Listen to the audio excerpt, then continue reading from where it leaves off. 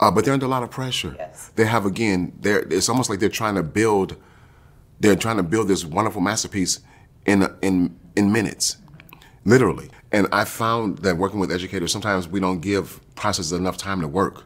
We implement procedures, but we, Nice, we yeah. don't give them time to work. Uh, I worked with one educator um, years ago.